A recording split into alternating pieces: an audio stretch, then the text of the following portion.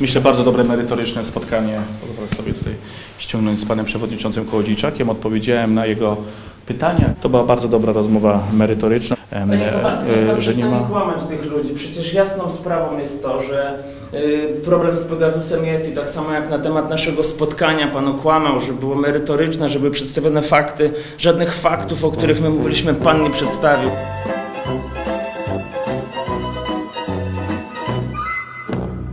Była bardzo dobra rozmowa merytoryczna.